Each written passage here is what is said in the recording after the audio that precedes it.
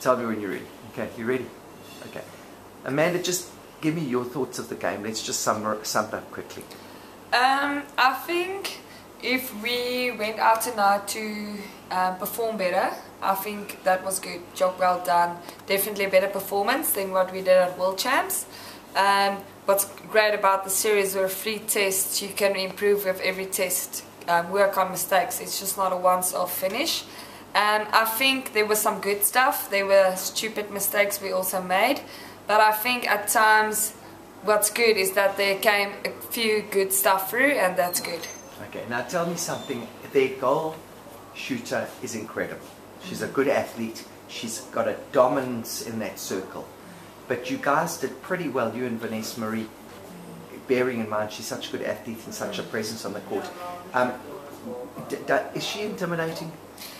Um, I think if you focus on her, yes, definitely she's intimidating because she's a good athlete. She's very tall, she can jump, but you have to look for everything that's coming off her. When she gives the ball out, you need to look for the intercepts there. You need to look for the intercepts from the other players and not from her because you're not going to get it. She's really tall and she can jump. Right. Yeah. Okay. Now the Jamaican media were telling me that uh, that they really felt that the scoreline could have been in your favour, mm. even if it was because right at the second you, you shared the, the second quarter at 14. There was just one bad uh, spurt. They just feel that what happened? What happened to South Africa?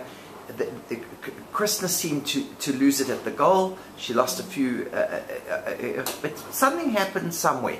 Can you have you got, thought about it? Have you put your finger finger on because you were right there until a point? I think that the Jamaicans aren't going to stand back. They will, if they go for a ball, they go for it throughout. Whereas some of our players seem to draw back when the ball came in, and um, they got the better of some of the players. They got into their minds in the end. Um, I think we should have played on fighting and not stepping back for them because the moment they get the overhead, they will go for it. Um, yep, that's what I think. I think they just got into our heads in the last quarter.